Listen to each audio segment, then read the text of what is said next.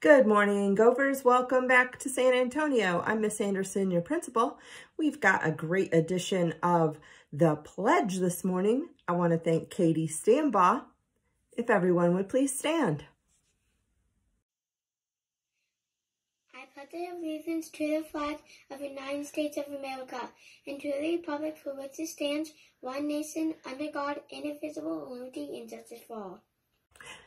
Thank you, Katie, for such a great rendition of our pledge. I hope you all enjoyed it. We've got some great gophograms today. I've got gophograms coming from Miss Crumpler. Miss Crumpler is so proud of her entire class for getting class of the week on Smarty Ants with the most time played, the most words built, and the most stories built. She is so proud of her entire class. Great job, Gophers.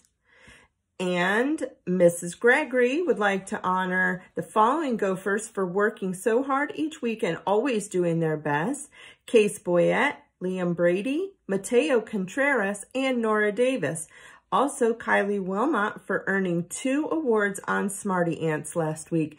Great job. Mrs. Gregory is very proud of you, and so am I. Please send in those gophograms and make sure that you have a terrific, great gopher day.